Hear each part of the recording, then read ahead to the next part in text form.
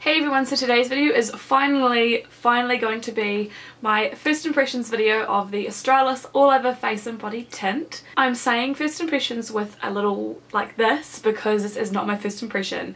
I'm really, really sorry but I tried to film a first impression on this and basically what happened was it was the hottest day ever and my makeup literally sweat off. Any foundation would have sweat off my face. It literally there was literally nothing on my face and I just thought it was unfair because no foundation could have possibly fared a day like that, especially not one that is natural, you know what I mean? So I wanted to refilm this because I love the way that this looks when I first apply it, which I'll talk about.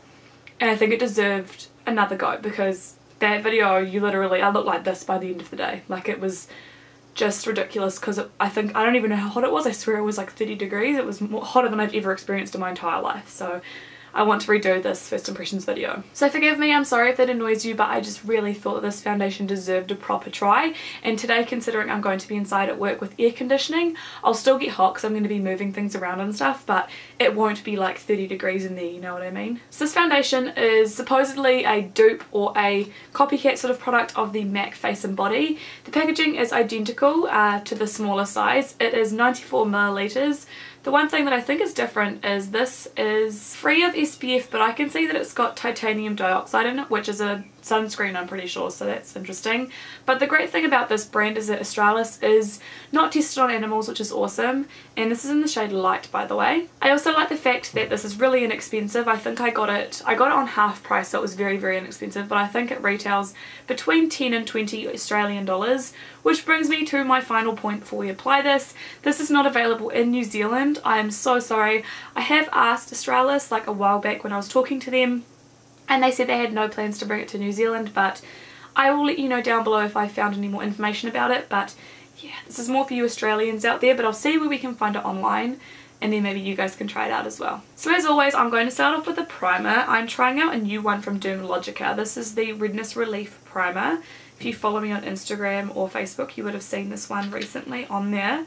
Um, and it is a green primer that's silicone based but that's not important.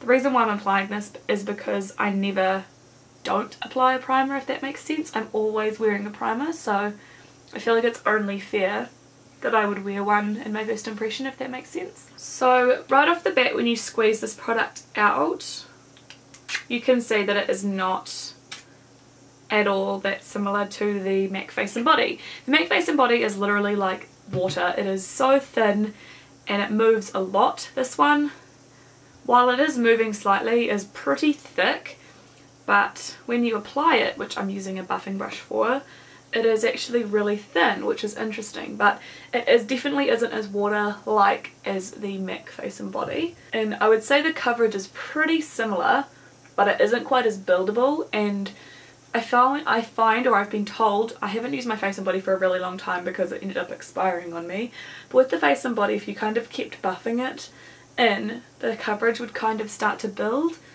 whereas this probably you can only really build it to a medium coverage.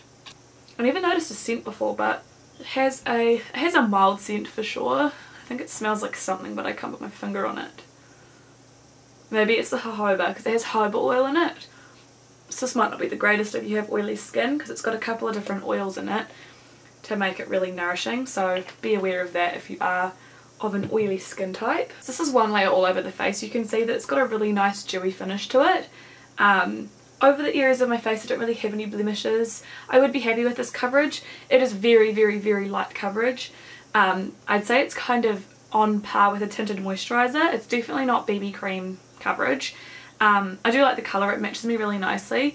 I do find that I do have to blend it down the neck. I think it does, I don't know if it's that it oxidizes or that, I guess it does oxidize really because it is darker than how it looks here I feel like. I don't know if you can tell on camera. Um, and the cool thing about this is that it kind of sets down a little bit. With the MAC Face and Body, that's literally like dewy even after you've set it, I find. This is kind of already going to like, not tacky, but like a skin-like texture. If you just moisturised your skin, it's sort of just sinking in. That's what your skin feels like when this starts to set. So with the second layer, you can kind of start to see some more of your imperfections fading away, but you're still going to see freckles, you're still going to see your redness. They're not going to go entirely. Um, this foundation is really for those of you who either want very light coverage or who have very very perfect skin and just need like a wash of colour. I really like this sort of coverage for days when I'm just putting makeup on because I feel like it. I don't really need a lot of coverage. This is a sort of foundation that I would reach for assuming that it lasts, which we'll find out today. So this is what the two full coats look like on my face. You can definitely tell that it's my skin. It literally doesn't look like I have any makeup on right now. If you had perfect skin, you could wear this by itself and your skin would just look perfected. Slightly perfected, I guess, because you can still see all my redness down here.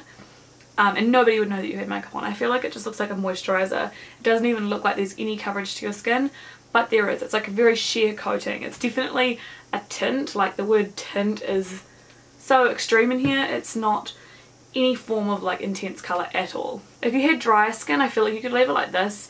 It's dried down to literally like a skin texture. It feels like the rest of my skin but I will be setting it with a powder, a light dusting just while I'm doing my makeup so that everything blends really nicely over top because I feel like even if a foundation is set it still needs powder for stuff to blend. But anyway, I'm going to go ahead and do the rest of my makeup. I will see you guys in a little bit. Right now it is 9.15 and I'll see you guys in about half an hour. Okay, so I'm running late and my camera's about to die so I'm just going to do a really quick update before I go to work. The time is 9.51 and I just finished doing my makeup and the foundation looks great. After I powdered it, I used a really light layer of the Australis Fresh and Flawless. You can see it's come down to, ignoring my cheeks because they're very highlighted, a sort of natural matte finish and it looks great. The foundation is slightly darker than it was before, not through oxidation but through the fact that I used a darker powder but I think it looks great and I will let you guys know at the end of the day how it wore and if I can remember I'll let you know when it started to break down but yeah so I'll see you guys in quite a few hours. Hello, so I'm back and it is 5.56, so basically 6 o'clock, which means this makeup has been on my face for eight and a half hours I think, or just under nine hours basically. And now that I've gotten home and I'm looking at it in good lighting, I think that it wore really well. The thing that I find really hard when I'm reviewing a light coverage foundation is the fact that it's light and with most foundations this would, help would be how they would look after they fade but because it was such a light coverage foundation it kind of just looks the same. I think it looks really nice. There's definitely not oil breakthrough but you can see it's starting to look shinier on my forehead. It held onto my contour and my blush really well. Um, I think maybe there's a little bit of makeup missing here. There's some missing around my eyes bits because I've had really bad irritated eyes today. If I look up close, I've got some creasing around my nose and just sort of that, you know, that crusty um, sort of like nose area. But if I wipe it, it just blends in again.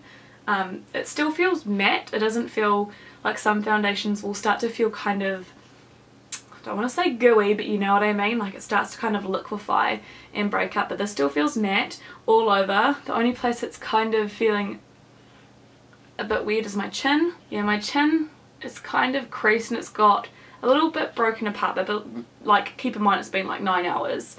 The coverage might have diminished a little bit but I, I'm still happy. I would probably still maybe touch up a little bit with some powder because my forehead I feel like is, looks lighter than the rest of my face maybe just touch that up a little bit and then go I think it looks really nice I'm surprised I had li like little to no hopes after the first times of trying it I didn't think I was going to like it the third time but I think now that I've worn it a couple days and I kind of know the coverage, I feel like this looks pretty close to what it did in the morning. You guys will know better than me because you would have seen the um, clips back to back. It's hard to judge like thinking back nine hours but in my opinion I think it still looks really nice. So moral of the story is if you want a light coverage, you're not in a ridiculously hot climate or in a sort of situation where you're going to sweat your makeup off, I think this is great. It wore really well on me. Um, it's non-irritating in my opinion. The scent is very mild. It just smells like something that I know, like some form of oil or like food. I don't know.